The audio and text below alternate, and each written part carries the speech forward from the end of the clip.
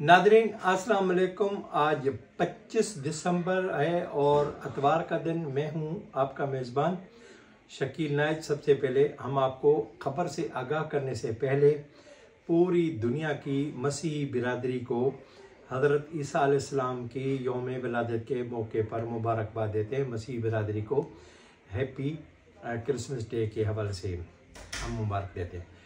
और पूरे पाकिस्तान समेत पाकिस्तान में जो पूरी दुनिया में जो लोग रहते हैं उनको, पाबानी पाकिस्तान कायद मोहम्मद अली जना के योम विलादत के मौके पर भी मुबारकबाद देते हैं। नादरीन आज ख़बर जो है वो ये है कि आज इमरान ख़ान ने सहाफ़ी से मुलाकात की है। इमरान ख़ान ने आज इन इस बात में एतराफ़ किया है कि इस्टबलिशमेंट उनसे रबता नहीं कर रही। नई इस्टेब्लिशमेंट से उसका कोई रबता नहीं हुआ। हम ये आपको पहले आगाह कर चुके हैं कि इमरान ख़ान ने सदर ममलिकत आरिफ अलवी के ज़रिए एड़ी चोटी का ज़ोर लगाया कि नई जो आर्मी लीडरशिप है, उससे उनका रबता हो। लेकिन नई लीडरशिप ने कतई तौर पर इनकार कर दिया। उनका कहना है कि वो इस तरह के रबते करके कोई गलत फहमियाँ और इस तरह के इमाम पैदा नहीं करना चाहते। इमरान खान का कहना था कि वो मार्च अप्रैल में इंतबात हो, होंगे वो उनकी पेशन हुई है। लेकिन तय ये हुआ है कि वफाकी हुकूमत को पहले नवाज़ शरीफ ने भी यही मशवरा दिया था कि ईद उल फितर गुजरने के बाद यानी रमज़ान मुबारक का महीना गुजरने के बाद आम इंतबात कराए जाएँ। लेकिन अब ये पता चला है कि शायद ये जो है वो आम इंतबात 2024 तक ले जाना चाहते हैं।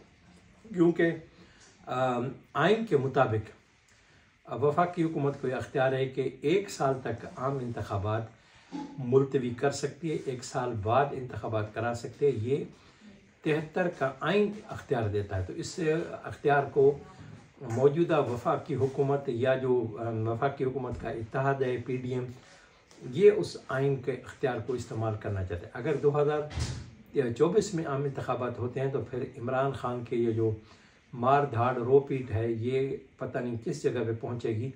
लेकिन वफाकी हुकूमत अपने तौर पर अपने जो उनके एजेंडा है या उनके जो मसाइल हैं, उनको हल करने की बारह कोशिश कर रही है। आई एम एफ़ से उधर रबते कर दूसरी जानब वज़ीर खदान इसहाक, डार ने सदर ममलिकत से फिर रबता किया। उनसे कहा है कि वो इमरान खान को बताएँ कि वफाकी हुकूमत इंतबात में जल्दबाज, जल्दबाजी नहीं चाहती। गो कि इसकी मुद्दत अगस्त 2023 तक है तो बहुत खींचान के भी वफाकी हुकूमत अगर बात करेगी सही तो जून, जुलाई के बात करेगी। इमरान खान को जल्दबाजी नहीं करनी चाहिए। वफाकी हुकूमत और पी डी एम आम इंतबात वक्त से पहले कराना नहीं चाहते।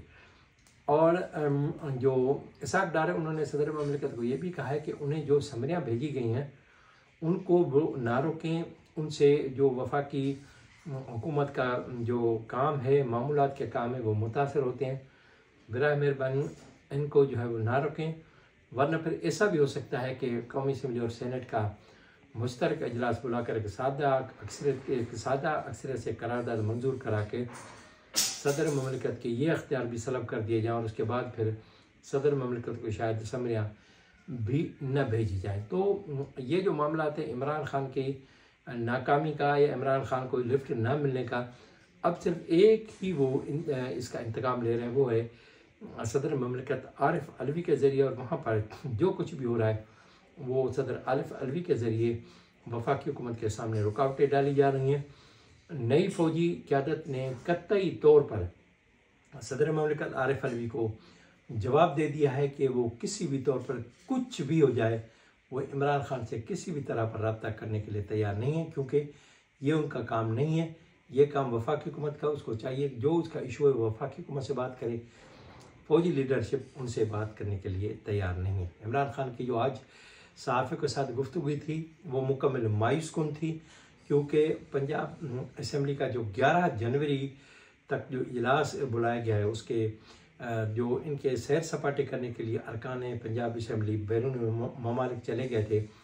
उन सबको तलब कर लिया गया है ताकि इसको अतमाद का वोट ले सके और शुनीद ये है कि मुस्लिम लीग काफ का एक बहुत बड़ा, मुस्लिम लीग काफ का एक ग्रुप जो है वो शायद इसको चौधरी परवेज लाई से दूर हो जाए और पाकिस्तान तहरीक इंसाफ के अंदर भी फॉरवर्ड ब्लाक बनने के लिए जो है निचय मगोयाँ शुरू हो गई हैं, रबतों का आगाज़ हो गया अब देखना यह है कि ग्यारह जनवरी तक क्या खेल खेला जाता है और क्या इसका नतज निकलता है, ये ग्यारह जनवरी को सब कुछ सामने आ जाएगा। नादिन ये थी हमारी आज की ब्रेकिंग न्यूज़।